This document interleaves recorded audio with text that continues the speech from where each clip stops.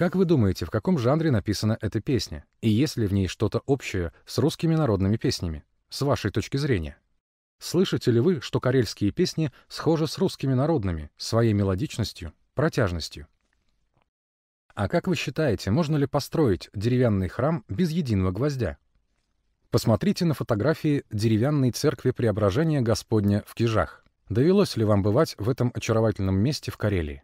Музей-заповедник Кижи — это один из крупнейших в России музеев под открытым небом. Посмотрите на церковь Преображения Господня. Этот храм был построен в 1714 году мастерами-умельцами без единого гвоздя. Сегодня это уникальное архитектурное сооружение составляет славу не только Карелии, России, но и всего мира. Оно включено в список всемирного природного и культурного наследия ЮНЕСКО.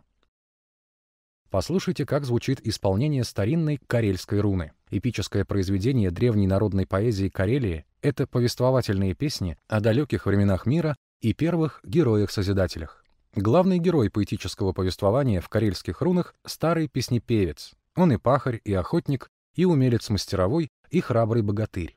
Предмет восторга и прославления в рунах — не воинская доблесть и не богатая добыча, а труд и сила человеческой мысли, выраженная в слове. Ради такого единого слова, разрешающего трудную задачу постройки нового корабля, в поисках новых знаний, песнопевец бесстрашно спускается в преисподнюю, к усопшему исполину и, преодолевая смертельные препятствия и опасности, возвращается с победой. Поэма называется «Калевала».